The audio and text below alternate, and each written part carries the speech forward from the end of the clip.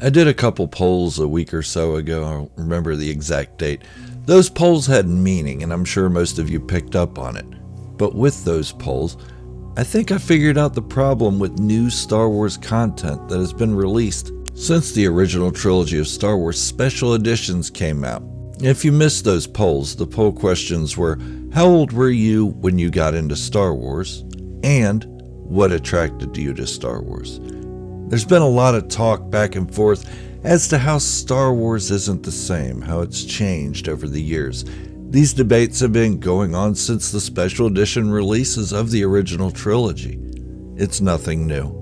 The biggest difference is the internet, and now everyone can display their voices, not just on Star Wars, but anything they feel passionate about, or enough that they give a crap about that they can post their feelings on it.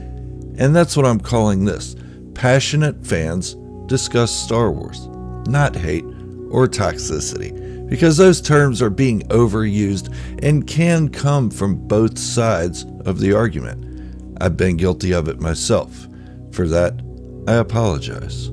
So, what I'm going to do is I'm going to present my thoughts on why we feel Star Wars is no longer the same and what I've figured out about it. Why we feel like we've been betrayed not just by Disney, but by George Lucas himself as well. And it all starts with those two little polls that I did. The Star Wars polls, along with an enlightened viewer or two, have helped change the direction I was heading. So thank you. You're right, I was starting to get too deep into the negative stuff. The reason I wasn't going to do this video was because it seemed like the same path.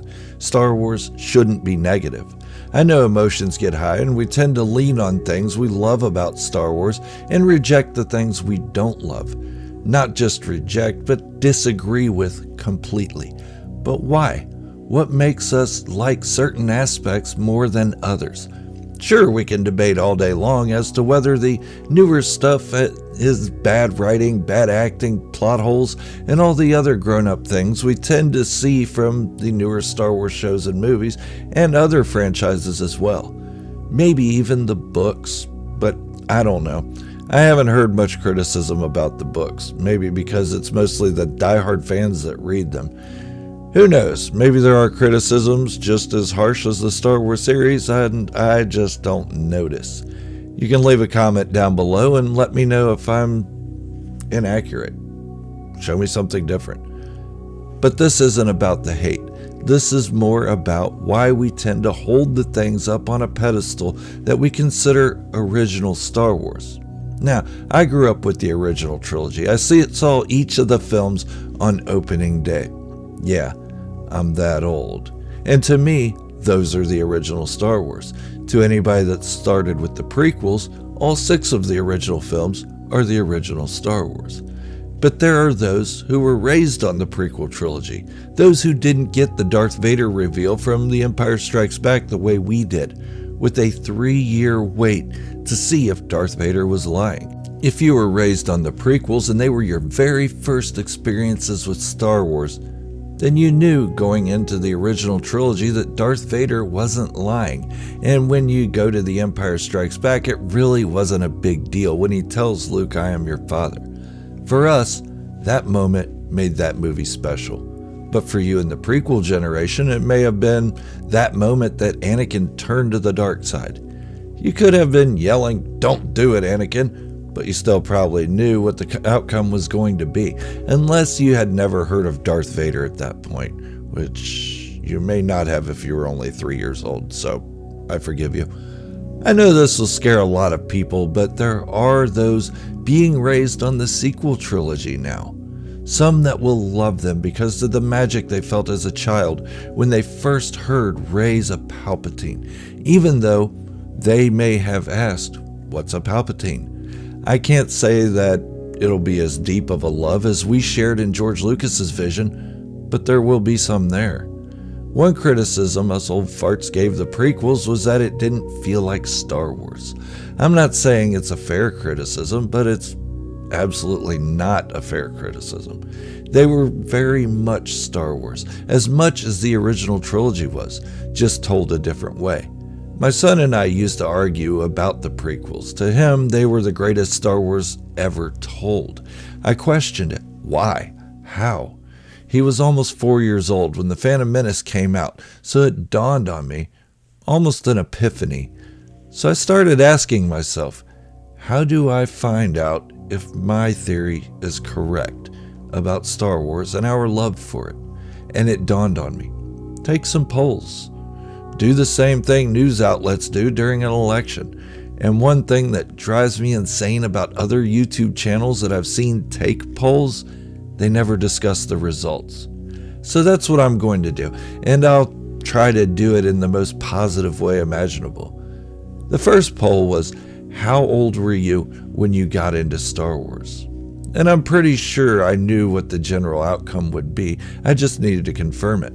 With 940 votes as of the making of this video, 70% of Star Wars fans said they were between the ages of 3 years old and 8 years old when they first saw Star Wars. That's a huge number.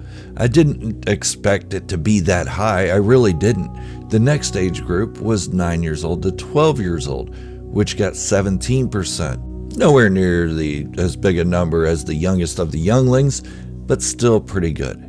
8% said they were between the ages of 13 and 18 years old. 4% said they were 18 to 25 years old, and 2% said they were old as hell. That means anything over 25. I guess I'm double old as hell. I don't know.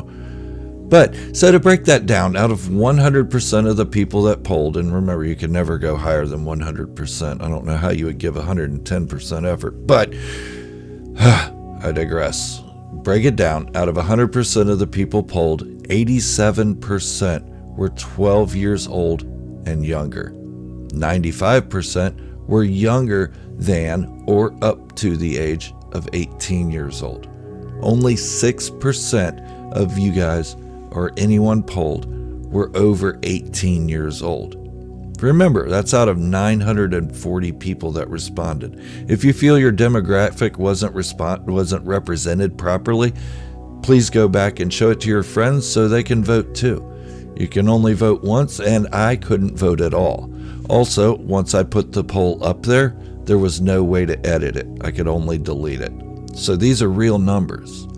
I know I'm boring you with numbers and so on, but I promise there is a payoff to this. Please stick with me.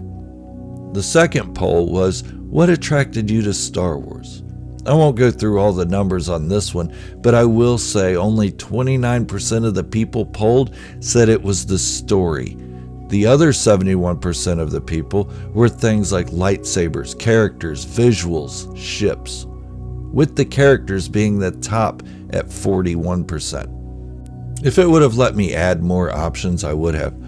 I'm sorry for those who feel disenfranchised. It really wasn't by design. Remember, these numbers are from 916 respondents on the second poll. Now, here's my epiphany. Some of the complaints to Star Wars' more recent releases is that Star Wars stories have plot holes, or it isn't well written, or that the acting isn't good, or there wasn't a plan for making a trilogy. Those are fair enough arguments, and you're not wrong. But think back to your first experience with Star Wars. I don't mean how you view the movies now, but your very first experience. After all, most judgments of anything is made from your first experience of those things. When you were a child, Darth Vader is so cool. As an adult, I saw The Rise of Skywalker once and I hated it. I'll never watch it again. The story was all over the place and there was no plan. Fair enough. And again, you're not wrong in your opinion. But what you were more interested in the first time you watched A New Hope, The Phantom Menace, or Revenge of the Sith, or whatever it was, was it the story? The writing? Or was it that you wanted to see more lightsaber action, or more Darth Vader or Darth Maul? Remember, 70% of you were between the ages of 3 years old and 8 years old when you first saw Star Wars. A compelling, well written story to you at that time was The Wheels on the Bus Go Round and Round. It wasn't the story that got you into Star Wars. It wasn't the well written dialogue or the believability of the whole plot. It was something that caught your eye, your senses. Coolness. It was your imagination. I've said countless times your opinions of the new stuff are not wrong. But what I challenge you to do is go back and rewatch the first Star Wars movie you have ever seen. Take away the nostalgia, take away the rose colored glasses, take away the experience you had as a child. View it as if you are watching it for the first time. You'll see Star Wars has always had clunky dialogue, horrible acting, plot holes, and a story that was not very well planned out. Star Wars is, as it always has been, made like a soap opera in space. If you don't believe me, go watch Days of Our Lives or something like that. That's what Star Wars was meant to be. And it continues to be with all these visuals and these neat things that catches a child's eye. But it isn't made for a 25 plus year old to get into it for the first time. Otherwise, the numbers on the poll would be different. Polls don't lie, numbers don't lie. If you don't think it was made for kids and the next generations, look at the poll numbers. 87% of people that got into Star Wars were 12 years old or younger. The exact age group George Lucas intended the stories to be for. The exact age group Disney markets to with 90% of their products. There is enough adult entertainment in Star Wars to keep the adults coming back, but they are bringing their kids for the experience.